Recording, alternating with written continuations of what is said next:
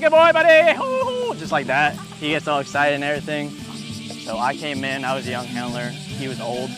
So I more learned my handler abilities off him. It's gonna be a 50-50 job. It's a dog team. I'm gonna use my visual and my cues for him. He's gonna use his heightened senses like his nose, his ears, everything like that. It just helps if I got like a, a rough week or something going on. I just got my dog. All I gotta do is just take a walk and I'm good. He's my partner.